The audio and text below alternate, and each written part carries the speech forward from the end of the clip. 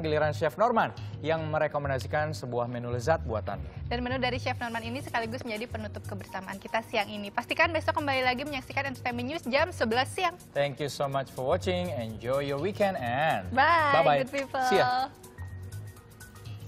I really, really...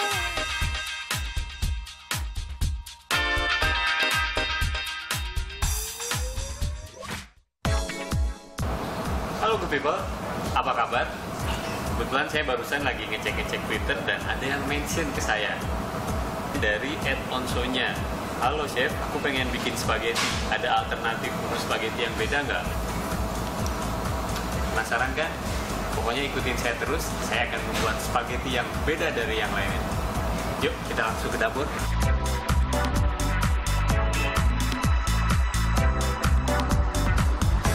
Masakan ini biasanya dari Itali, spaghetti, biasanya menggunakan bolognese, carbonara, atau marinara. Kali ini saya akan membuat spaghetti dengan saus telur asin. Bagaimana cara membuatnya dan apa saja bahan-bahannya? Ini dia.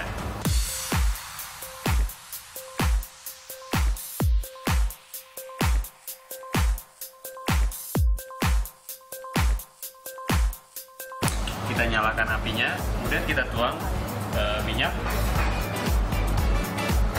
saya masukkan bawang tujuannya agar uh, bawangnya memberikan aroma wangi jadi sari bawangnya keluar pelan-pelan dicampur dengan minyak. Melakukan seperti ini minyaknya akan lebih wangi.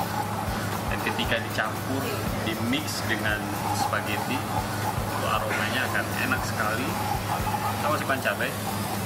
Saya menggunakan cabai merah biasa saya angkat dari api karena saya nggak mau bawang putihnya menjadi gosong. Oke, sekarang kita masukkan telur asin. Ini ada sekitar 4 4 buah telur asin. Kita aduk rata telur asinnya. Saya menggunakan kuningnya saja. Kita aduk rata sampai kuning telur asin ini meleleh menjadi satu bercampur dengan bawang putih Oke. Kemudian kita masukkan spagettinya.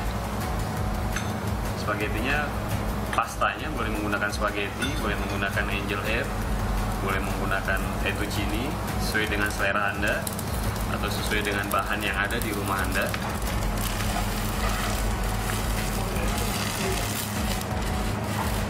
Rata. rata kalau pedas boleh tambahkan chili flake.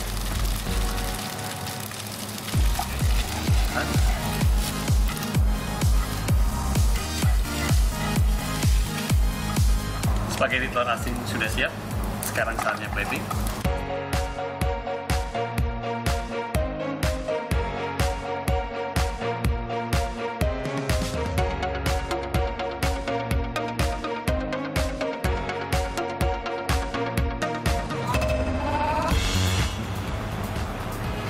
Ini dia spaghetti spesial telur asin khusus request dari Twitter at Onsonya. Dan jika good people memiliki atau mempunyai resep yang ingin saya coba di sini, silakan mention ke akun Twitter kita. Good people, selamat mencoba.